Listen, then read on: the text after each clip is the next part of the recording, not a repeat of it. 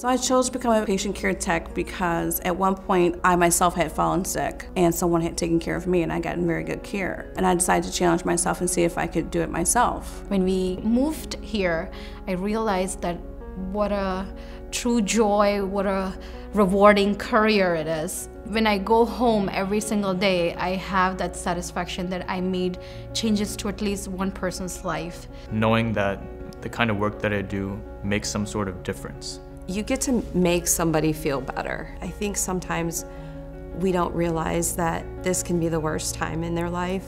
And so just being able to make them smile or give them some type of comfort. Saving someone, solving their problems, meeting their needs, you are making change in human's life. You are making change in humanity. When I leave my patients' rooms, they remember me. They remember the impact that I made on their lives. A typical day, it's very busy in and out from one room to another. We round hourly on our patients here. The nurses check to make sure the pain's under control.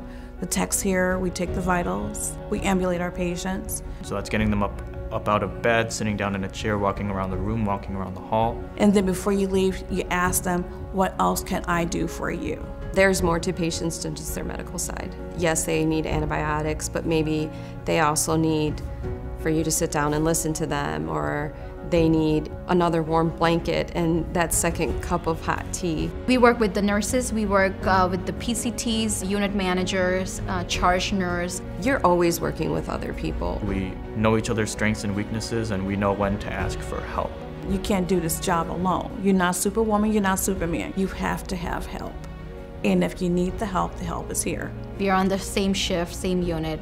We take care of all the patients together. It's a great hospital. You will learn a lot here. The patient population is very diverse. The employee benefits are great.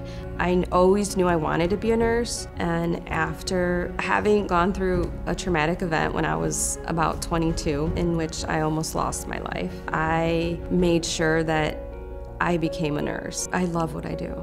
I really do.